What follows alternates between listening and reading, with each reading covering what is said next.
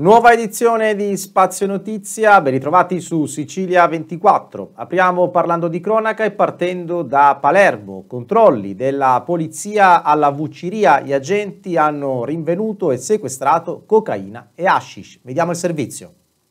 La Polizia di Stato di Palermo, nell'ambito di servizi straordinari di controllo del territorio disposti dal questore del capoluogo siciliano, ha raggiunto ragguardevoli risultati in tema di contenimento degli indici di criminalità.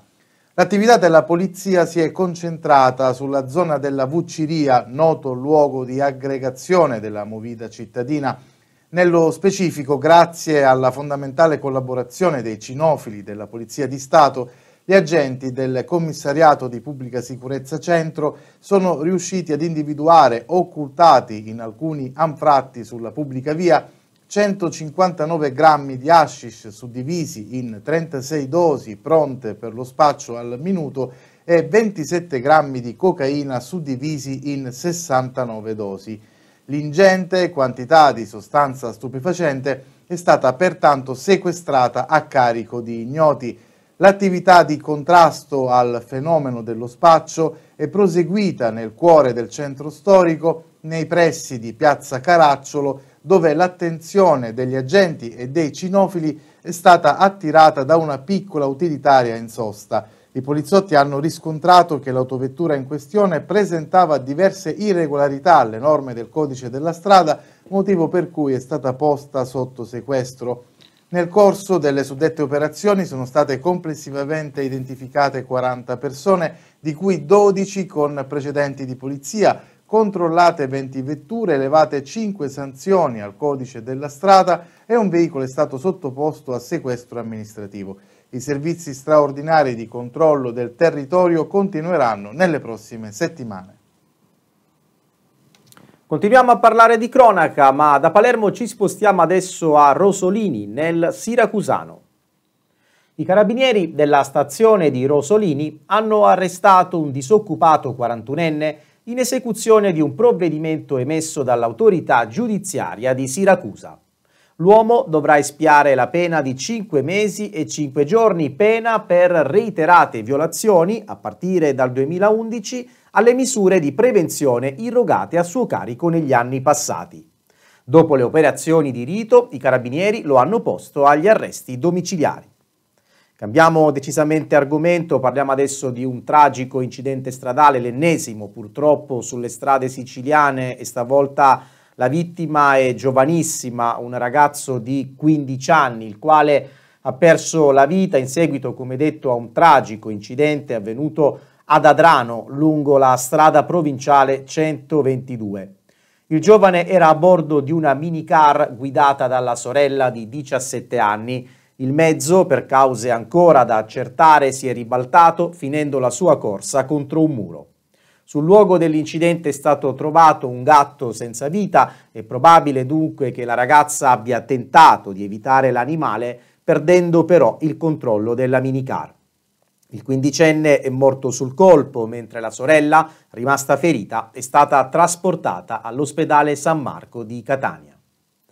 Ed ora parliamo di terremoti perché continua a tremare la terra in Sicilia dopo le scosse avvenute eh, nelle scorse settimane, certamente lo ricorderete, ne abbiamo eh, parlato, scosse avvenute in diverse zone della Sicilia, stavolta invece il terremoto, il terremoto si è verificato a Monreale, è stato proprio qui eh, l'epicentro, un terremoto di magnitudo 2.5 registrato alle 21.29 è, da, è localizzato dall'Istituto Nazionale di Geofisica e Vulcanologia di Roma a 9 km di profondità, come detto, con epicentro a Monreale.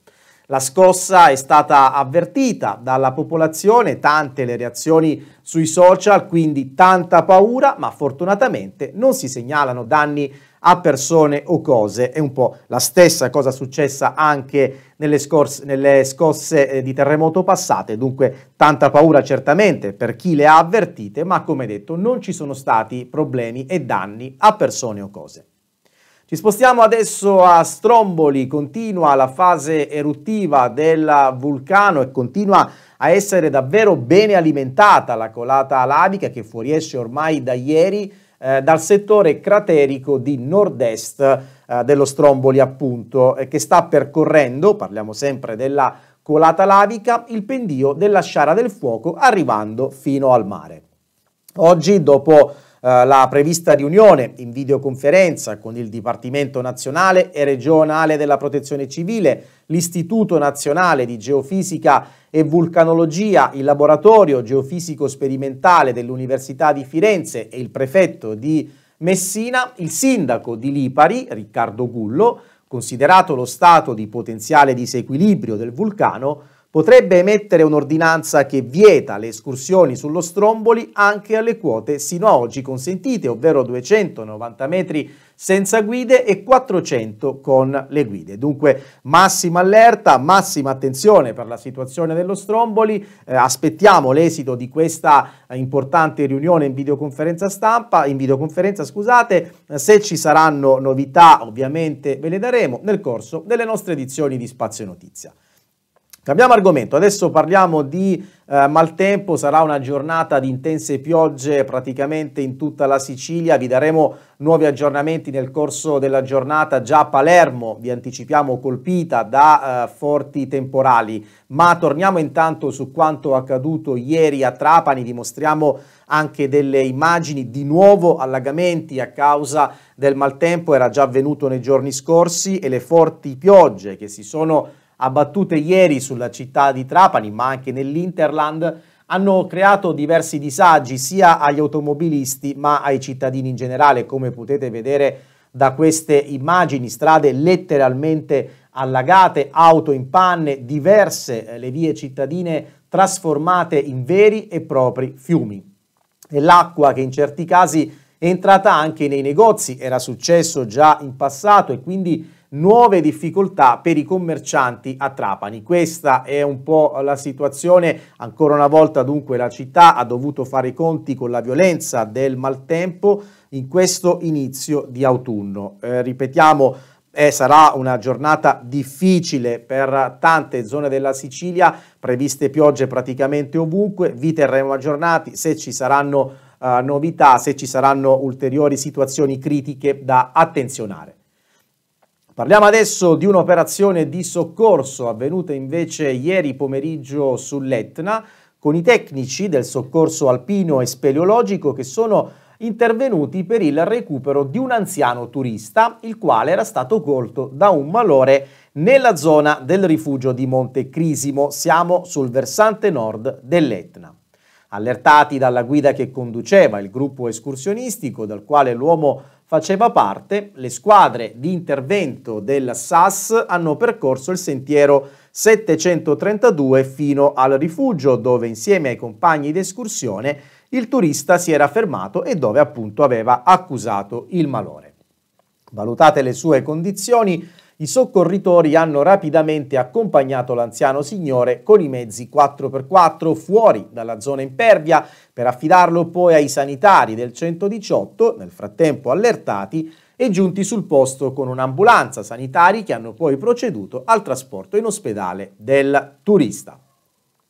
Parliamo adesso di eh, Cateno De Luca perché si è posto un altro ambizioso obiettivo. Dopo uh, le elezioni regionali, non è stato eletto governatore ma ha ottenuto comunque un ottimo risultato, adesso De Luca cerca invece di diventare sindaco di Taormina. Insomma, una nuova sfida per Scateno De Luca, forte anche chiaramente del consenso ottenuto alle recenti elezioni regionali, soprattutto a Messina e provincia. E quindi Cateno ci riprova con un'altra città messinese, ovvero Taormina si è presentato in piazza, ha chiesto ai taorminesi eh, mi volete come sindaco, queste le parole di Cateno De Luca, perché vi dovete accontentare di questa situazione? Ha aggiunto che volge sempre al peggio e non ottenere invece quello che meritate.